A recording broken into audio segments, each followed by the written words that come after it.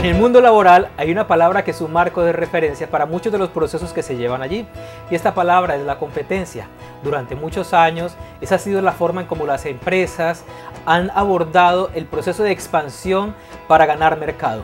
Ahora, la competencia tiene un pequeño detalle y ese pequeño detalle es que parte del principio de que para yo poder ganar, el otro tiene que perder.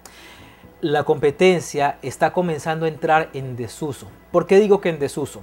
porque la excelencia es lo que entra a reemplazar ese concepto antiguo en el que los demás tienen que perder para yo poder ganar. Ahora, ¿por qué la excelencia?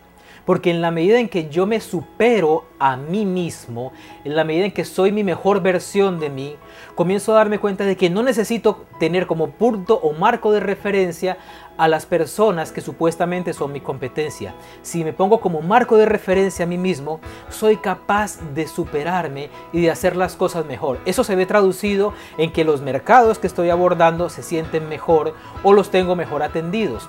Ahora, si llevamos la competencia al contexto personal y revisamos de qué forma estoy siendo competitivo con mi pareja, de qué forma estoy siendo competitivo con mis amistades, porque es muy común, por ejemplo, que compitamos en quién vive mejor o en quién está mejor, o en las mismas conversaciones se nota que yo digo algo y el otro trata de superar lo que estoy diciendo en base a su experiencia, a lo que esté viviendo.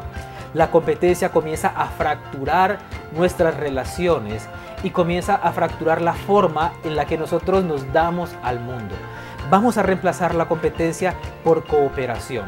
En el concepto relacional, la cooperación supera la competencia porque nos damos al otro y desde el otro, desde esa conexión, desde esa convivencia, creamos una posibilidad nueva de servicio, de expansión y sobre todo de conexión mutua. Gracias por escucharme. Nos vemos en las redes sociales arroba Humberto Montes, en Twitter e Instagram y en Facebook Humberto Montes Sánchez.